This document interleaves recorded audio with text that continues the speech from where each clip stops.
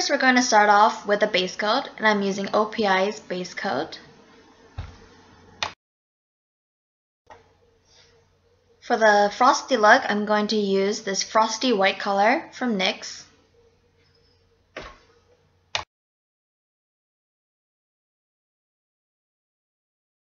This is just an option, but if you want to add glitter to this, I'm using Wet n Wild's glitter.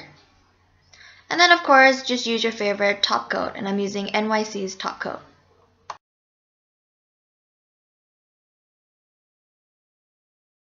Apply your base coat. The first step, or second step after your base coat, you're going to wipe off majority of the polish from the brush. And you're going to paint three-fourths of your nails.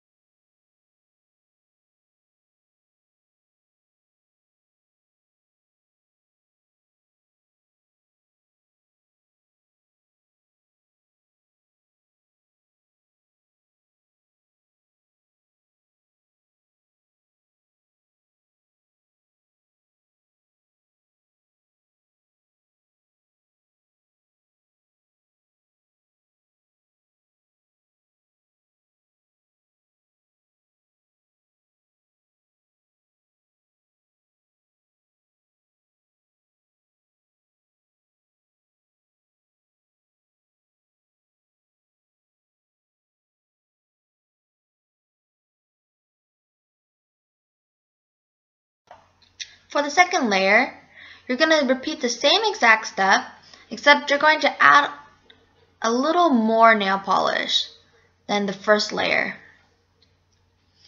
And you're going to paint halfway of your nails, overlapping the first layer, but you're going to paint halfway so that it's going to look more solid at the tips. And it doesn't have to be clean or anything. And it just, just have to paint half the nails.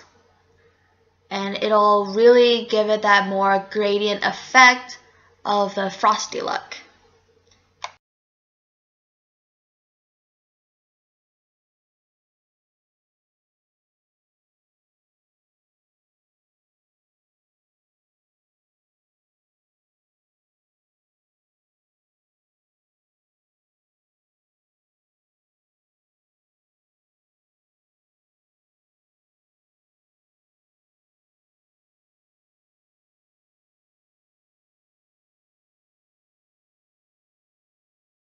The third layer is the same exact process except you're going to add the nail polish more towards your tips.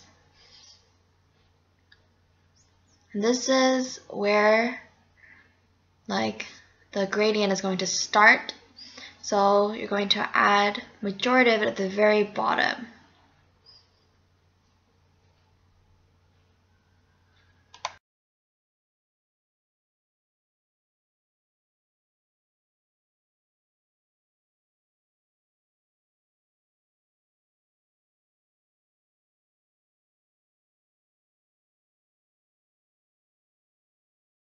Apply your top coat here, or you can add some glitter to make it even more sparkly.